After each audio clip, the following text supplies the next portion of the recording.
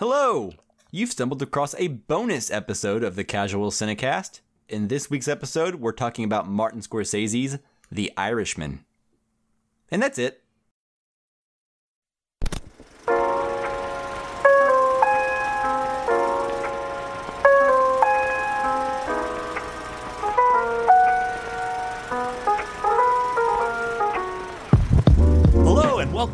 Casual Cinecast, powered by Cinelinx. My name is Chris, and with me, as always, is a good fella named Mike. How are you doing today, sir? I'm, uh, you talking to me? I am talking to you, but you don't see anybody around, so Yeah, you had to finish that on your own. I was gonna leave you. I was gonna leave you hanging to see how you get out of that. well. I hope I did it well enough. Also with us is is a taxi driver named Justin. How are you doing today? Oh, good. I'm good. Uh, Taxi driver was much better. I was like, is he going to call me a casino? Uh, Because that would be weird. That did cross my mind, but I wasn't going to call you a casino. I was going to say just got. I got think out he's gonna call you the king of comedy Uh, that also crossed or my mind. but- Boxcar Bertha. yes. Also with us is Boxcar Bertha Justin. Cut out all the rest also with it. us is a man who's knocking at my door. Uh, also with us is Alice doesn't live here anymore. All right. we covered that. How are you doing, Justin? Hugo. I mean, good. Cape Fear. Silence. If this is your first time listening to the show, normally we like to start off every episode in a section that makes sense. True. Usually. Not not, Not always often. successful. Yeah. But this is a bonus episode, so we're foregoing our usual section where we talk about news on the march, which is everything we've been watching the last week. And we are just going to go straight into a bonus review of The Irishman. And that's it. If you don't want to see that movie, venture no further. And guys, on behalf of The Irishman, I have a question for you. Okay. But feel free to take the fifth. Do you guys paint houses? My uncle used to paint houses, but Oh, that's now that it's in context with this movie, I feel much different about it. Oh man, I got nothing. Yeah. So I'm, I guess I'll plead the fifth because I can't really. All right. Good good go. yeah. So here on the Casual Cinecast, we don't paint houses, but what we do do is talk about Criterion films every other week. We're foregoing it for the month of December because there's so many great movies out right now, but in January we're going to start it back up. The way that works is that we each pick a movie from the Criterion collection and then we put it out to the masses on the interwebs, and then you guys get to vote and choose which film we talk about. Uh, so there's a giant back catalog of films we've done. Umbrellas of Cherbourg is the most recent one, if you want to take a listen to that. Uh, otherwise, look forward to new ones like 12 Angry Men that's coming up. And make sure you follow us on Twitter, but I'll let Justin talk to us about all that. That's right. As Chris said, you, the listener, gets to vote on which Criterion film we do every other week. And if you want to vote in those polls, you can follow us on Facebook, Twitter, and Instagram at Casual Cinecast. Also, if you want to send us questions or topics to discuss about the films we're going to review each week, you can send your questions to those social media accounts. You can also email them to casualcinemedia at gmail.com. And then, of course, if you like what you hear, you like the show, make sure you subscribe to the show and wherever you're listening to podcasts on. And uh, also give us a review on iTunes. Give us a five star review. It helps other people find the show so that they can like it and subscribe as well. That's right. All right, gentlemen. With that, are we ready to go ahead and move into our thoughts on The Irishman? Yes. Okay. Here we go. It's over. They're all gone.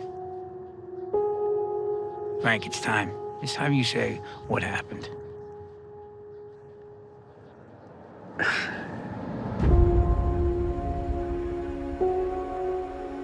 Frank, I want you to meet my cousin, Russell Bufalino. Better watch. There's a lot of tough guys around here. Did he tell you? You're not afraid of tough guys, are you? I didn't think so. I was one of a thousand working stiffs until I wasn't no more. You got a good friend here. You don't know how good a friend you got. Russell, he took a shine to me right away. After a while, he started giving me little things to do. I know you read a lot of things about me. I just want to say I'm sorry. I know I wasn't a good dad. I know that. I know that. I was just trying to, to protect all of you. From what? You didn't see what I see, what I've been through. A friend of ours is having a little trouble. A friend at the top.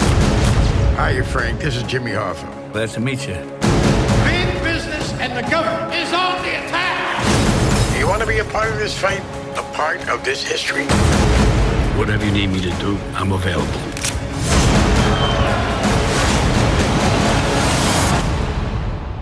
Only three people in the world have one of these, and only one of them is Irish. You know how strong I made you? I know things they don't know I know. He said that? You sure he said that? I'm worried. Nobody threatens Hoffa. I got records, I got tapes. They're done. I had to put you into this thing. Sooner or later, everybody put here as a date when he's gonna go.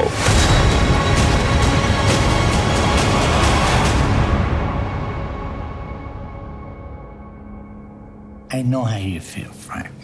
Trust me, I know how you feel. We'll bring you back after you get your car.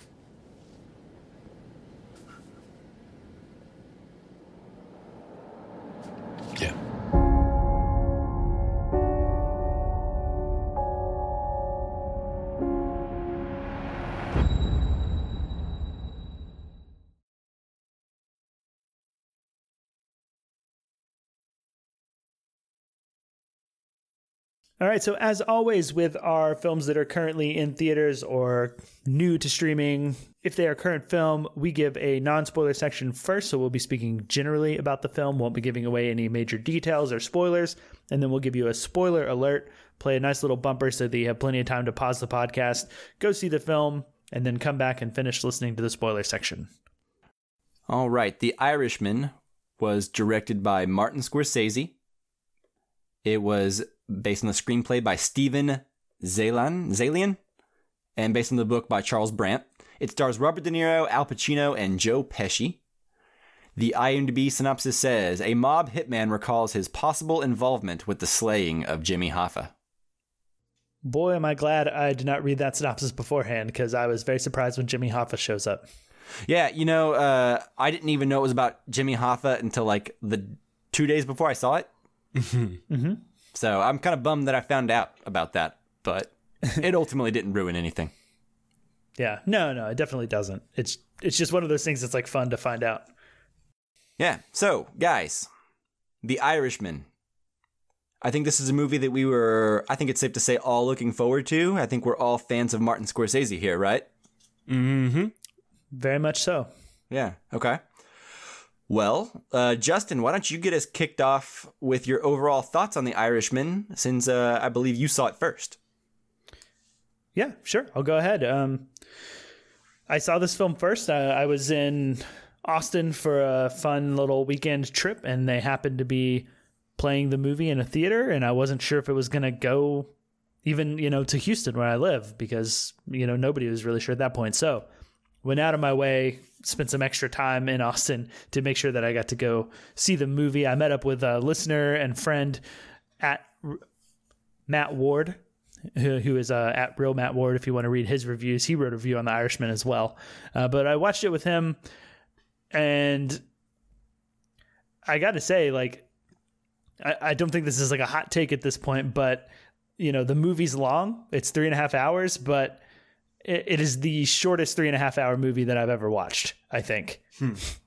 Uh, because for me, like this movie just it flew by, and not even in the sense that it's a fast paced film. It's just interesting, and to me, like fascinating, and of course, like well acted and well crafted from like start to finish. I was just on board. Like I didn't even get up to go to the bathroom at any point during the movie. I, I sat in the seat from start to finish, which is something I was very worried about, especially because I drank a lot of tea before I went, which was a giant mistake. Yeah, sounds like it. Uh, but yeah, I, I mean, I was enthralled. I think the last hour or so of the movie really started to solidify this film as like one of the great films of the year for me. I, I do think it is a great film. Uh, prior to that, I thought it was good and enjoyable and interesting. And like I said, it moved, but it's it's maybe that last hour, 45 minutes. I'm not totally sure exactly how long, but it, the the movie just really started to grab me and really started to connect with me much deeper than I ever thought this movie would, and probably deeper than any other like gangster film that I can think of. Definitely, I think it grabbed me more than you know any of Martin Scorsese's other gangster f- film, like on like a deep personal level, and really like made me think and left me thinking as I walked out of the theater and you know was driving home uh, and like that night, like I was still thinking about this in a way that I never thought about. You know, like Goodfellas or even The Godfather or um, you know Casino, any of those films, and Mm-hmm. I I mean, I guess I don't want to like go on too long. I'll let you guys talk about it. Um, I think it's I think it's great. I think it's one of the great films of the year, and it had a whole lot to live up to. So I think it's even like more impressive that like after all the hype and all of the situation surrounding it, is it going to be in theaters? Is it not going to be in theaters? Like it's three and a half hours long. Like is that too long? How can it? You know. Is that going to be good? I don't know. You know, I think with all of the baggage that goes along with it, it's even more impressive to me that I feel so strongly about it. Like it's it's just I don't know, it's a blast. It's it's awesome to see Martin Scorsese at this point in his career come to do this movie with all of these actors, uh, De Niro, Pacino, P- Pesci, uh, Harvey Keitel. At, like at the point that they are in their career, it just feels so right. uh, and uh, I'm I'm just over the moon about it. And uh, I will let whoever wants to go next talk about it now. Yeah, I'll go next. Like you, I've been a fan of Martin Scorsese for a long time. Uh, I first got into him through Taxi Driver, you know, and then kind of just went through his whole filmography from there. I have followed him, I don't know, since I was like 16 years old, I think. So when this movie was coming out and being made, I was kind of following it roughly. I didn't really want to know a whole lot about it other than there was a movie called The Irishman being made with um, Robert De Niro, Al Pacino, Joe Pesci, and there was lots of de aging technology, and the budget kept going crazy as a result of it, right? So, kind of like you, there was a lot going against this movie before I even got into the theater, right? So, there was the whole production hell that it went through. Then there was the whole like de aging technology, which people have been talking about for like two years, it seems like. How's it going to look? Is it going to look bad? Most de aging technology does look bad how are they going to make a serious drama that's going to be critically well received and be like a classic with this technology that always looks like shit you know Yeah, and the technology we'd seen, I think, mostly to that point in like comic book movies and Yeah. superhero things. You know, yeah the only movie that used it yeah artistically like this that i can think of was benjamin button right? Yeah, that is, that would be an exception, totally. um, but even then it, it looked you could see the seams right Um, yeah, it, it didn't look great. Yeah. So this movie had a lot going for it, right? So whenever you saw it in theaters and you said that it was you you really liked it, it was really good, that surprised me. You know, uh, not because you don't have wonderful taste, but because you have mentioned on this podcast before that when things get built up in the cultural conversation, it sometimes you feel disappointed in that. Yeah, And that's what I was expecting to happen to me, not to you, right? But like when you told me that it was like excellent and exceptional, I was like, oh man, am I gonna like it this much? You know, because like some of the best Martin Scorsese movies, like it's a high bar to clear. Yeah. You know, he's done Goodfellas, he's done King of Comedy, Taxi Driver, you know, you name it. His top five would be a hard top five to crack. So anyway, I- I went to see this movie in theaters probably like a week before it released on Netflix. Uh, I traveled two hours to see it in Dallas with my girlfriend. We were back really late, but I really wanted to see it, and I really, really enjoyed it. Yeah, this is another gangster movie with uh, Martin Scorsese, Joe Pesci, and Robert De Niro. I hear that a lot, you know, um, especially since Martin Scorsese was bashing Marvel movies. So now everyone has to defend the Marvel movies against the evil Martin Scorsese. And I keep hearing them talk about how, like, yeah, the Marvel movies, he's saying that there's nothing new and original about them, and he's doing the same thing here. It's just another gangster movie with the same actors. I understand that. I do. I sympathize with that. Because before I sat down, even going through my brain, I was thinking to myself, how can they do anything new with this? With these actors, with this subject matter, right? Mm-hmm. But they do. This movie unlike Goodfellas, unlike Casino, unlike anything Scorsese has done, this movie is about life and death and choices and time and regret and um, introspection. There's just so much that you can take from the last hour of this movie that offers you a almost a treasure chest of riches that that the Goodfellas never even attempted to touch. This movie may not, may not be as high adrenaline as something like Goodfellas, right? Like it may not be as um, fast paced, as easy to watch. You wouldn't want to add this into like a like a double feature or just like watch it on cable one afternoon. You would want to actually sit down to watch The Irishman. It's not a funny movie. There's no memes that are going to come from it, probably, you know, but you never know. But I saw a Joe Pesci Baby Yoda meme. there you go. So there's always some stupid person on the internet that's going to make a meme out of something, right? But it's not Um, there is a meme about it actually going around that I've seen.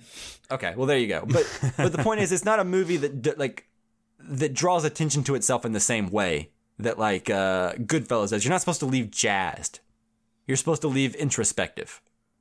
So I'll keep it short and pass it over to Chris. But uh, let's just say I really, really, really enjoyed this movie more than I thought I would. I don't know exactly where it'll fall at the end of the year yet, but this is one of my favorite Martin Scorsese movies, and that is saying quite a bit. I think there's enough here to say to justify this movie being made, and I do not agree that this is just a rehash of what we've already seen before. So if if that is what your impression of this movie is, that's not it. Yeah, it's absolutely not a rehash, or it takes stuff that he's already dealt with and shines a new light on it. It's it's like Ozu's, who I would think about. You know, like Ozu made a lot of movies that were about the same thing. Uh, you know, marrying people's daughters off and stuff like that. But each time he makes the same story, it's from a different perspective, or there's something new to it. Uh, same things here. Same thing here. Uh, you get it's it's about gangsters. Sure, has he covered that before? Yes, but there's something new to it, and you're right. It's about coming to the end of your life and looking back on it, and that's uh, really interesting to me and really good. And the thing that's new about this, and it's something that I don't know if Martin Scorsese and Robert De Niro and Joe Pesci could have made 20 years ago. Exactly. Yeah, that's that was actually yeah. This is uh, the development of Martin Scorsese as a as he gets older, you know, and um, you get to see like him kind of deal with these issues on screen, and I'm sure the other movies are him dealing with certain issues as well. Uh, one of the things I really find fascinating about this film, and I think it speaks to how good it is, uh, is the de aging technology. Uh, leading up to this film, that's all anybody could talk about uh, with this film, or at least that's what it felt like to me. Uh, but once it came out, Well, if- it was the wild card, right, right, right? Like it was the thing that we were all waiting to like have it proved to us. right. Um, but once it came out, you know, like there was very little talking uh, talk about the uh, de aging technology because the movie's so good. Uh, is the de aging technology perfect? No. Does it matter? no, it doesn't because uh, everything else shines so bright that I can forgive it. Uh, well, let's put it this way: Is the de aging technology perfect? No, like you said. But does it beat anything that practical makeup could do for Yes, these yeah, for sure. 80 year old men playing these in these parts, right? Like Yeah. the de aging technology, while not perfect, you know, makeup, old age makeup and, and young person makeup have never been perfect in the history of movies. So And of course, there's also the other option besides makeup, and that would be to like cast a younger De Niro. right. And I, and I think this is is less distracting than either of those yeah, options. I, I agree. Um, there's one moment where Robert De Niro's beating somebody up, and you can kind of tell that it's old Robert De Niro beating somebody Yeah. up. Uh, and eh, eh, that's those things aren't a big deal to me. Uh, I don't. But yeah, like you guys, you guys have covered a lot of stuff, and I, I'm I'm in the same boat with you guys. I like this movie a lot. Yeah, I'm excited to talk more in, in depth with you guys. So Yeah, I agree with you about the uh, the fight scene with Robert De Niro. There's not many places in this movie where I can really feel the age shining through, mm-hmm. but where Robert De Niro is um, fighting somebody on a street corner, Yeah, he- he's supposed to be violent. Pretty early in the movie. That's uh, that's that's a pretty clear indicator that Yeah, that is not young Robert De Niro. yeah. Right. Um, yeah. So, real quick, before we get into spoilers, I wanted to ask you guys do you think this movie will get any Oscar love? If so, will it be for acting, directing? What do you think? I know the Academy is pretty at war with Netflix right now, so the politics might get in the way of everything. But as far as merits go, um, what do you guys think? I think if the politics can be looked past, if they end up being looked past and it starts to get some Oscar love, I easily see it being nominated for Best Picture and Scorsese for Best Director, uh, Screenplay, and then I think. I think at least De Niro and Joe Pesci will be nominated for acting. No Pacino? I mean, I would say so, but I'm, you know, I'm trying to make a smart bet here and say at least the, the other two. Yeah. Um, but I think if, if it gets any nominations, it'll get a bunch uh, like those, or or it'll get none. I, I think I see a scenario where it's just Joe Pesci. Uh, I think Joe Pesci is the standout here, uh, to me at least. Um, Well, it's because he's doing the thing that like we didn't expect of him. Like Joe Pesci in a Martin Scorsese movie is always the dude that's about to fly off the handle and murder anyone at the drop of a hat. But this one, he's so like cool and collected. It's a different character altogether, really. yeah. I think that's another thing that the movie had going against it. I think is, you know, we've talked about the de aging and uh, the length and Scorsese versus Marvel, but like just the, it being a Netflix movie in general and Scorsese doing a Netflix movie, I felt a little bit of that of like, you know, oh, it's Netflix, you know.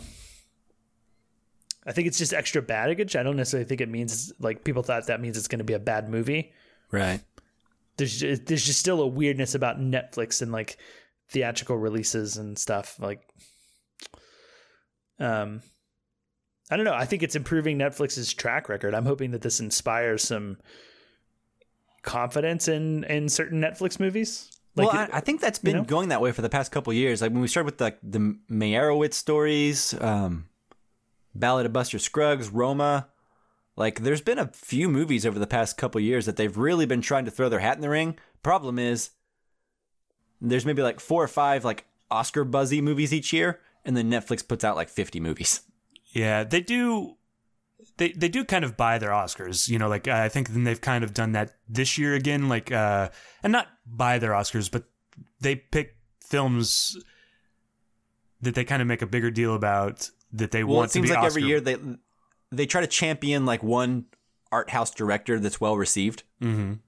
or one or two, and then like finance those movies, and then the rest of the movies they can finance can be crap as long as they have like the like a Coen Brothers movie this year, or a Scorsese movie this year, or an Alfonso Cuarón movie next year. You know, Yeah, they want uh, they have their showcase pieces. Uh, right? They they want to have like their tentpole like awards buzz movies, but then they also don't want to do that too much because those don't I imagine make as much money as like something like or like get them as many subscriptions as something like Bright or something that sucks.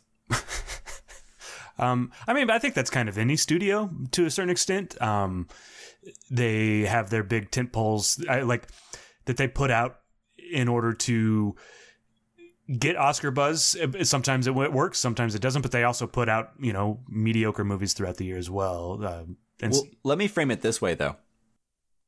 Thank God that Netflix is making movies like this. Because Scorsese was not able to get this movie financed anywhere else. Movies like this, like in the 90s, this could have been financed. Mhm. In the last 20 years, not so much.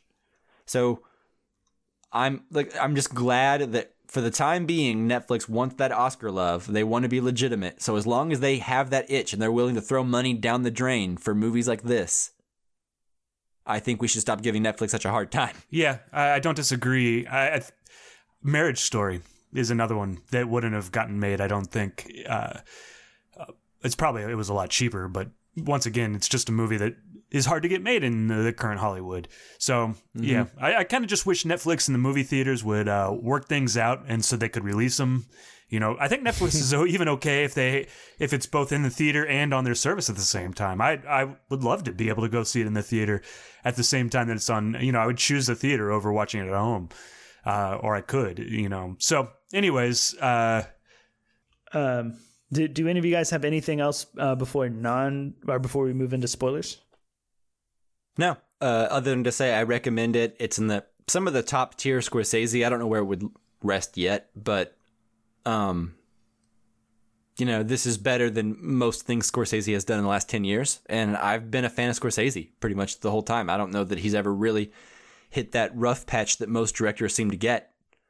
There may be the occasional movie every now and then that I don't like as much as the next one, but I don't know that he's ever had like two or three movies in a row that haven't merited some kind of attention. even a movie like Shutter Island, which is basically genre, you know, a, genre piece, I, I find interesting and fun to watch, and I think Yeah, mainly because of Martin Scorsese.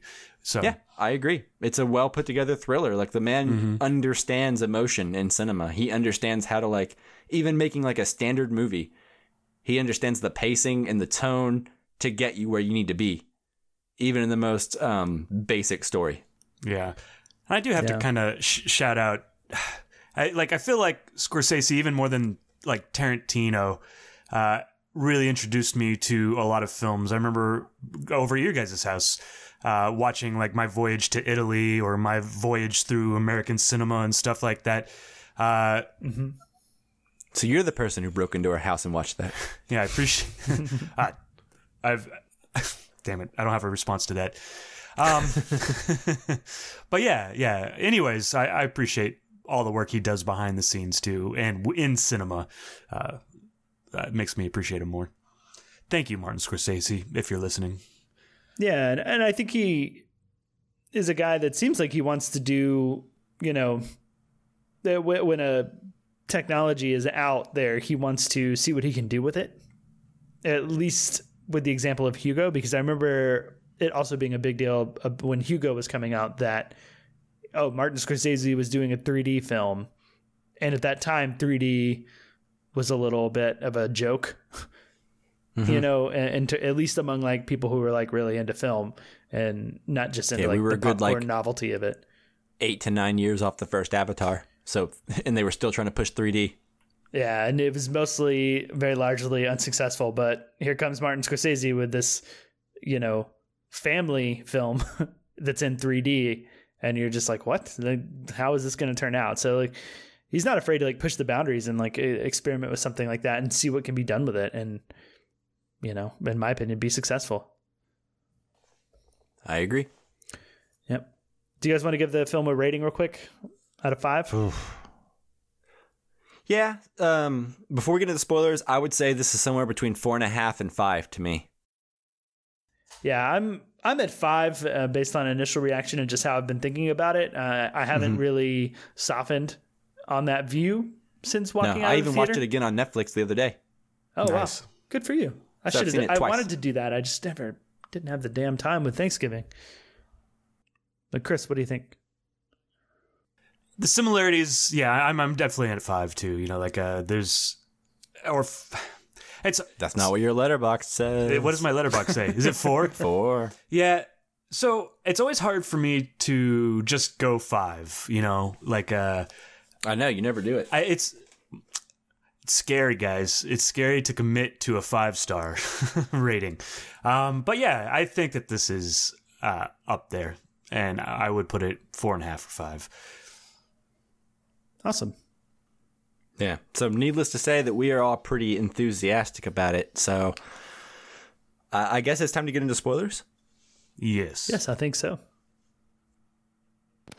No, I guess Rosebud is just a piece in a jigsaw puzzle. Give me one cigarette you got up there. I'll tell you all about it. Things are going to start happening to me now. And here we go. So, one thing that I really appreciate about this movie is that it's constantly reminding you that death is looming. Like, as we meet so many of these people in the prime of their lives, we see their death information just pop up on the screen. Yeah, like method of death and Yeah. year. And when the year. So we like know most of these people have less than like five years left to live when we even meet them. Yeah, I, I like how often that pops up, i- and like the timing of like popping it up when we're introduced to characters as well, mm-hmm. like as opposed to, you know, maybe the last time we see that character right. in the it's film. It's very much like robert de niro looking back at his life right? And then like when you look back you know the whole picture already right? When you're living it you don't know the whole picture. You're living it. But he's looking back now and he can be like oh yeah that memory where i met so and so this is how he died. He got shot in the face three times like six years later you know i think that's a really powerful thing because this movie is constantly always no matter what reminding you that death is coming. It's mm-hmm. always coming, no matter what kind of life you live, no matter how you follow orders, how you don't. We're all going to the same place. And I don't, like I said earlier, I don't know if this is a movie that could have even been made by Martin Scorsese and Robert De Niro 20 years ago. I think this is something that can only be made by someone who is in their 70s thinking about this Yeah. stuff pretty frequently. What does your life mean? Is your life ultimately just the the sum of all your choices? Can you be forgiven?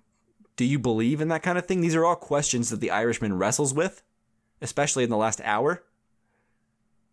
That makes the gangster setting so poignant and so um yeah, just resonant, I guess, is uh, because this whole movie, these these people live violent, terrible lives, and we see them in the, the prime of their lives having fun. But it's constantly reminding you of how it ends, and even if it doesn't end violently and shortly, um, in some getting shot in the back of the head kind of way, then best case scenario, you just sit around and wait to die and think about your actions. Yeah, I I think one of the things you're you're kind of touching on that I found really poignant as well is the things you find really important, like through your the middle of your life, like what you're working towards and what you're trying Right. to do. Mm-hmm. Ultimately, like as you look back, will seem fruitless. You know, like and what Or- really matters. Right, your loyalties, the people Yeah. you think you should be loyal to, Mhm. eventually they will be dead. yeah, and then all you have at the end is like the weight of your decisions and did you make the right decision or the wrong decision were you loyal to the right people or the wrong people you know Right. And even then, you know, like he was doing all this for his family, you know, and I think that that's a common theme in uh, mafia movies and stuff like that. well that's what he But- tells himself Yeah. But he, at the end of his life, all he wanted was to reconnect with his family, but because of his loyalties and where he uh, was headed and what he did in the middle of his life that he thought was really important, uh, he's disconnected, and they won't. Some of them won't talk to him, and I've, you know, that's I think really uh, poignant and uh, touching. Yeah, I mean that's like the stuff that this film versus any other gangster film that I can think of really, uh, you know, feels unique, and that's what really, you know, I walked away from the film just thinking about and like couldn't really shake afterwards. I'm gonna make a controversial statement here Okay, so of all the gangster movies i've seen and this movie's better than the movie i'm about to reference so i want to make that perfectly clear right now the only other gangster movie that really touched on the idea of growing old, reflecting on your actions, and then dying of like natural causes like this was The Godfather Part 3. Yeah, I've, it's the one no one likes. I've seen the Exactly. comparisons. Like the Godfather Part Three wanted to be this movie. Well, yeah, but I mean, spoilers for The Godfather Godfather Part 3 right now. Uh, does anyone remember that? It's Not been very so well because I've only seen it once. Okay. So, uh, Michael Corleone, which is Al Pacino in that movie, right? Like through the end of the first one, all throughout the second one, and the third one, he is taken over for Marlon Brando after Marlon Brando gets shot. Now, originally, I think, if I remember the, the commentary correctly, I think Francis Ford Coppola wanted to call The Godfather Part 3 with a subtitle called The Death of Michael Corleone. And at the end of The Godfather Part 3, the normal movie happens, but at the very, very end, it just it cuts to an indeterminable amount of time later. of Al Pacino just sitting in a chair as an old man and he just falls over dead Right. of natural causes. And we don't know how long later, we don't know when it happened, but we know that he didn't get his comeuppance for everything that he deserved. And this movie kind of tries to deal with that exact same thing, but uh, in my opinion, in a much more graceful, satisfying way. Because I haven't seen The Godfather Part 3 in like a, a really, really long time. But for some reason, I always remembered the death of Michael Corleone in that movie. Right. Well, I think this movie there is comeuppance in a way, but not the comeuppance of he finally gets you know offed. Right. It's just the comeuppance of age and loneliness. and, and looking back and you know that really like talking about his regrets and his family and everything that leads me to think about Anna Paquin's character, uh, which has been a bit of a controversial character, and I wanted to hear your guys' thoughts on it, and um, just in case you guys don't know, or if anyone doesn't know, that she's been the subject of controversy because she doesn't speak very much Right. and there have been people calling that some sort of a misogynistic uh, action on Martin Scorsese's part to not give a, the main like one of the main women characters a speaking line, Sure. um, which I think is uh, ridiculous. But I want to hear what you guys think.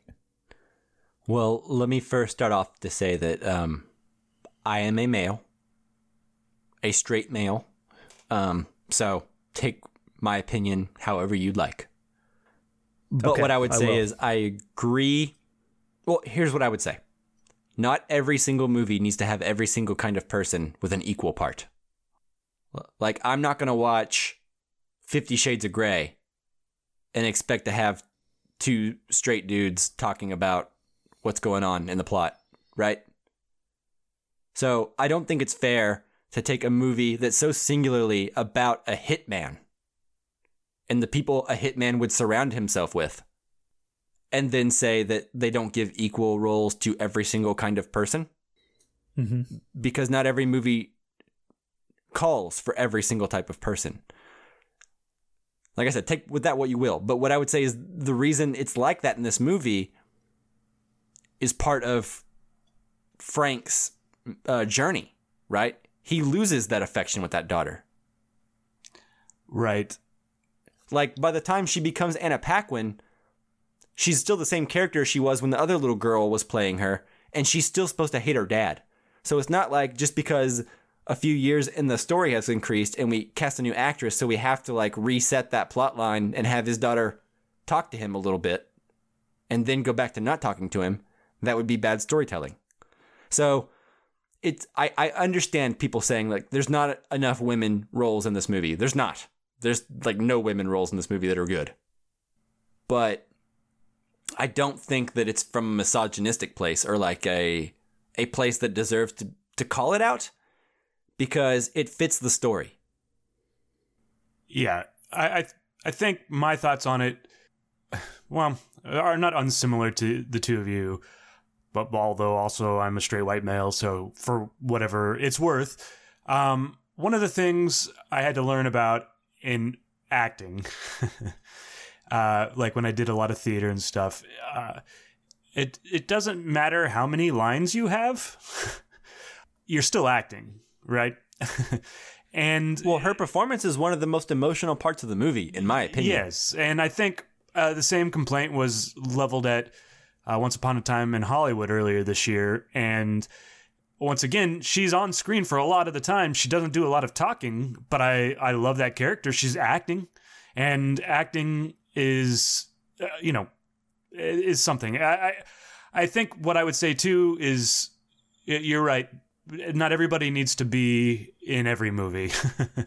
uh, what needs to happen probably is there needs to be more movies uh, like Waves, for instance, uh, that's a, a, about minorities or you know about the, those other characters. But not everybody needs to be in every movie.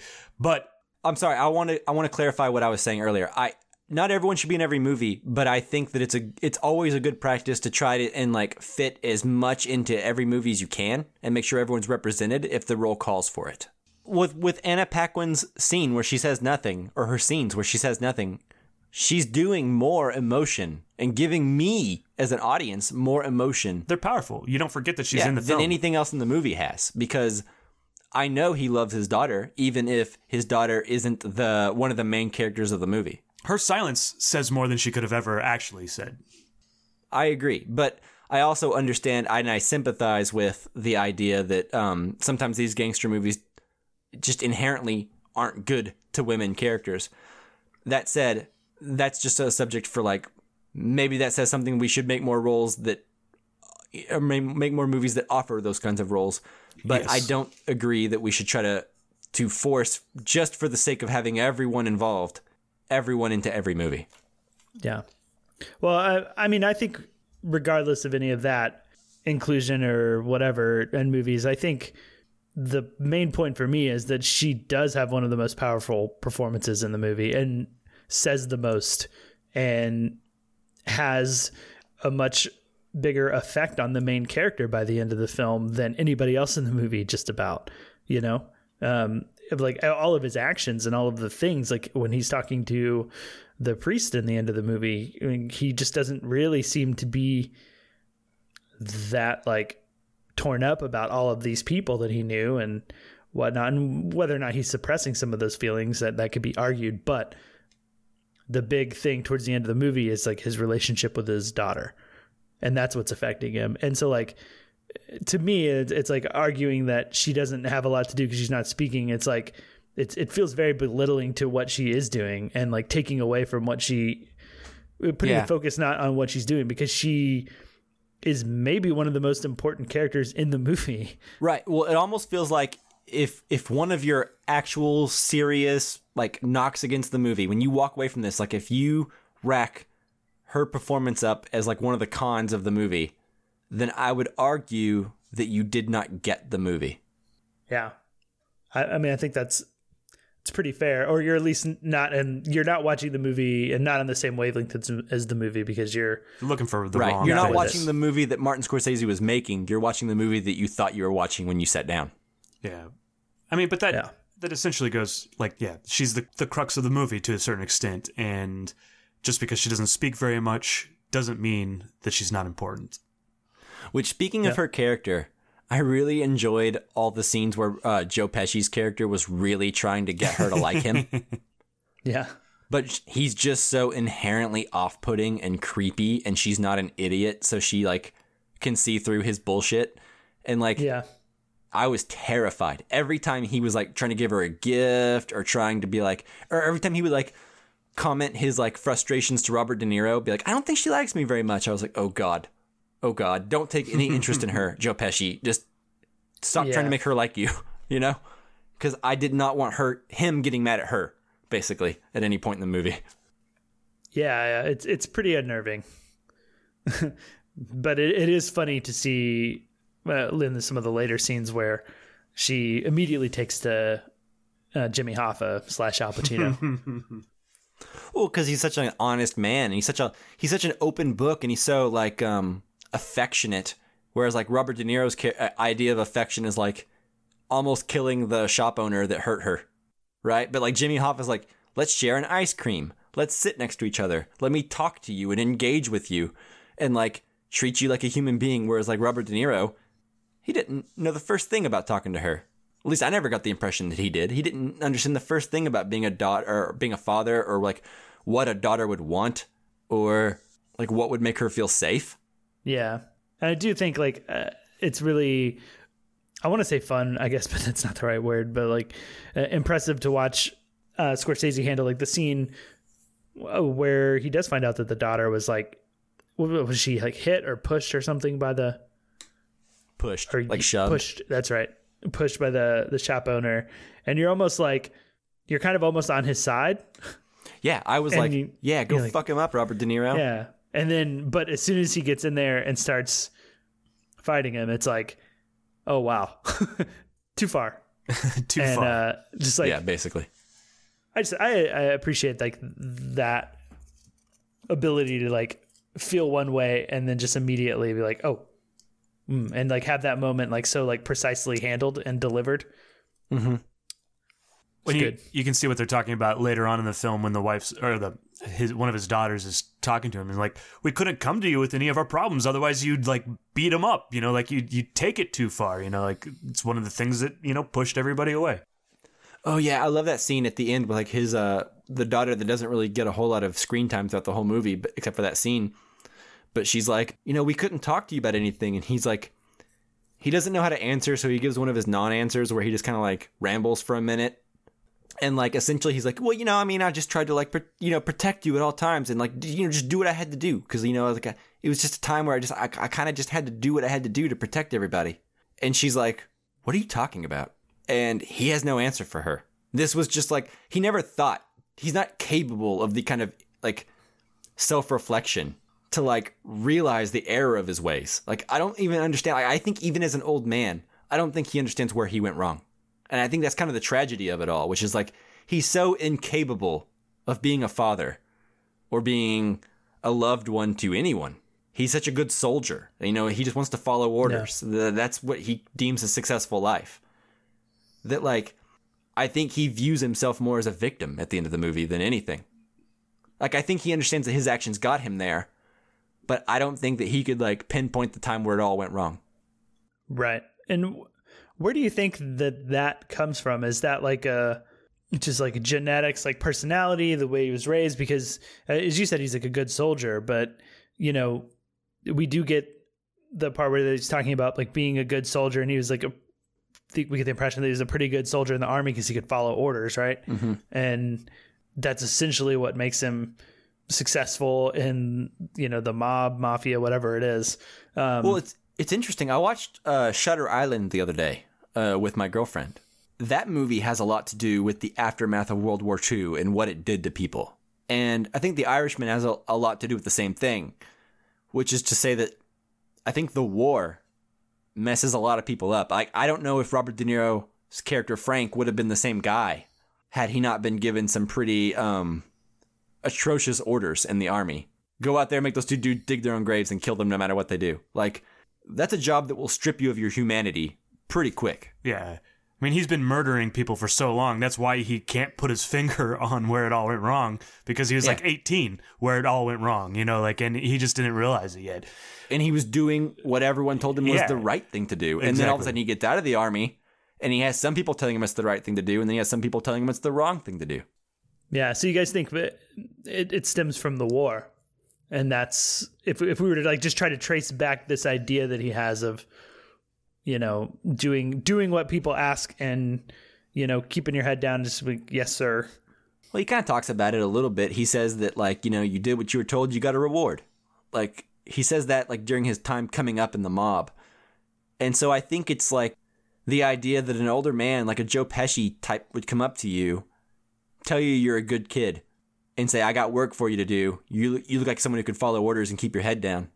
And that's always what he's been valued for. And it seems like he's never had to really put himself out there for anybody.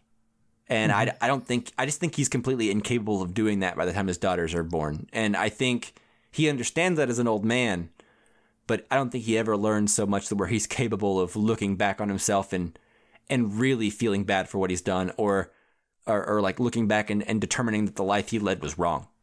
Which I think makes it all the more tragic. The idea that he doesn't understand his old age as much. You know what I mean? The idea that like he thinks he can still make it up to her. So he's still trying, but it's kind of pathetic, I guess, and sad because he's an old man and he's clueless. Yeah, the bank scene. yeah, exactly. The bank scene is what I'm thinking of. It's like he thought that would work. but like me as an audience member, as soon as he was in the line and I knew what he was doing, I was like, "Oh no." I'm a customer. She has to talk to me. Right, and, and we knew it wouldn't. We knew it wouldn't work. You know what I mean? Yeah. Just based on the the intro to that scene. So, yeah, Anna Paquin's voiceless role, I think, contributes all to that. You know, it's just the disgust in her face. Yeah. So before we wrap all this up, we haven't really talked about Al Pacino at all. And I wanted to say that I actually really enjoyed Al Pacino's role in this, and I enjoyed Robert De Niro and Al Pacino feeding off of one another in this. Uh, there's one particular scene that I really enjoyed between the two of them.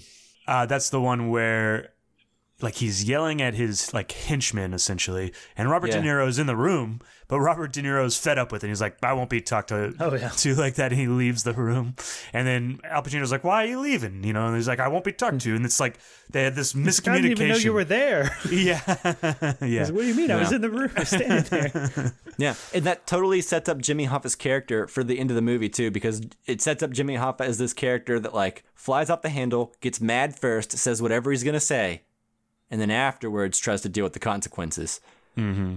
Yeah, I think Al Pacino in general is just like really charming and like really fun and charismatic in the film, and like really, you know, moves the scenes that he's in.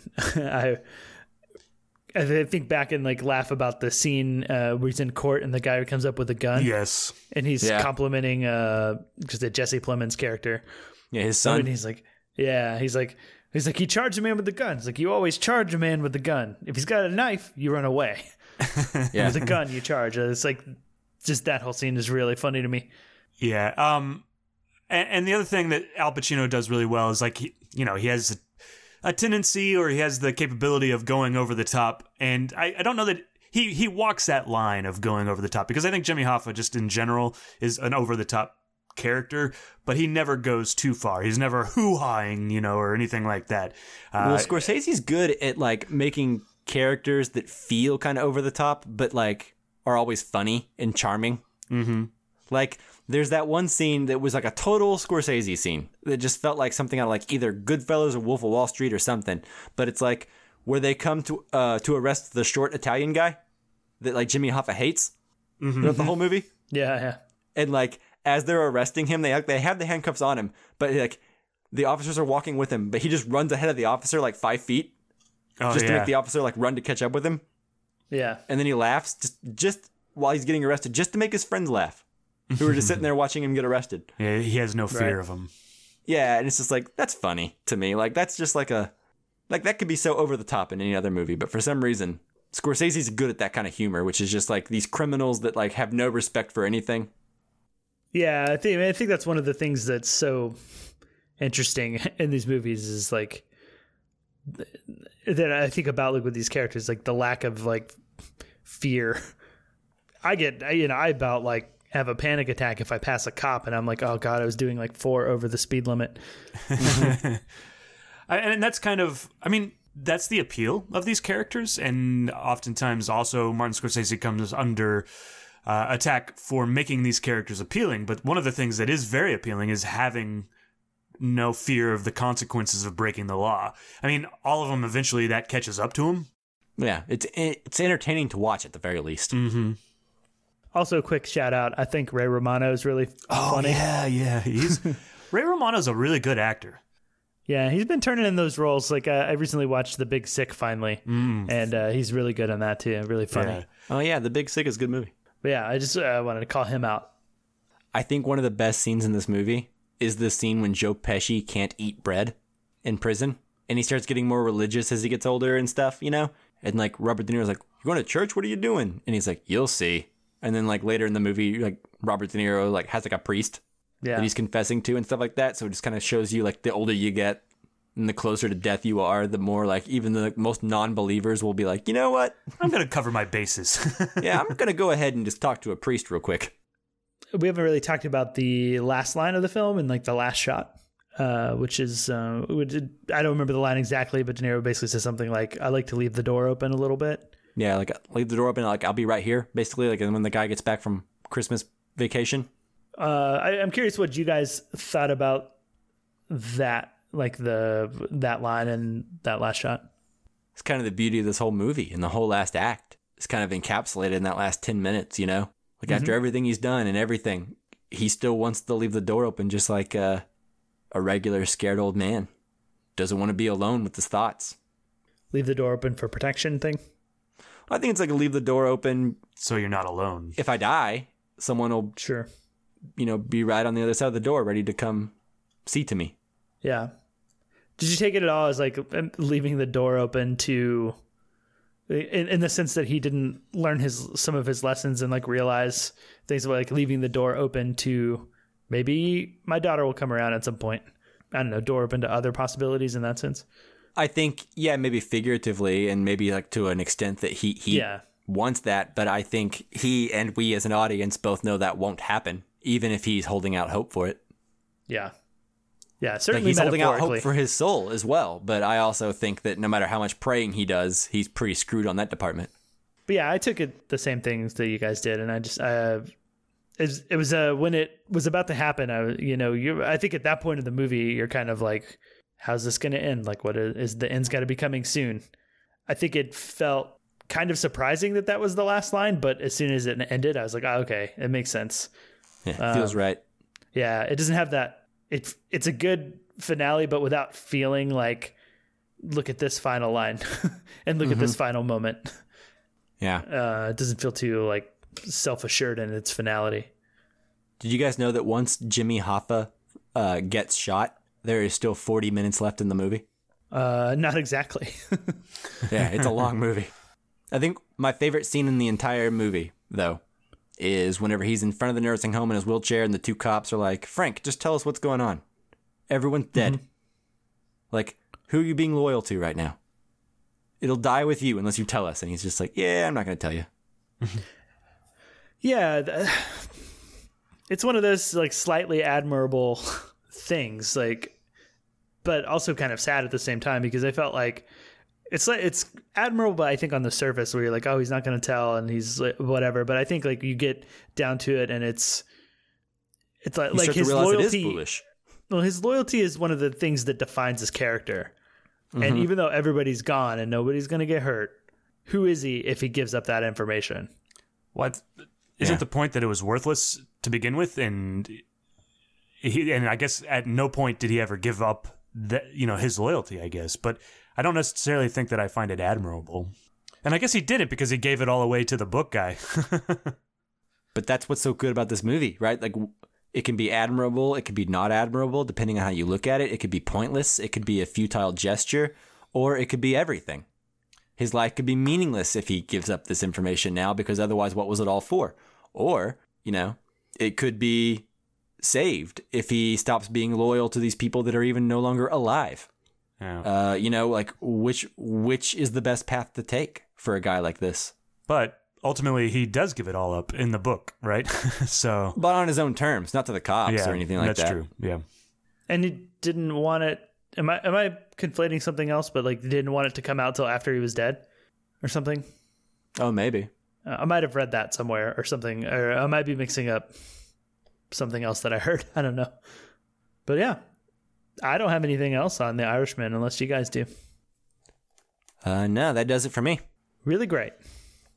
Yeah, really like it. Uh, one of my favorite movies of the year so far, but I will have to see kind of where it all lands at the end. But it's definitely a contender for top five.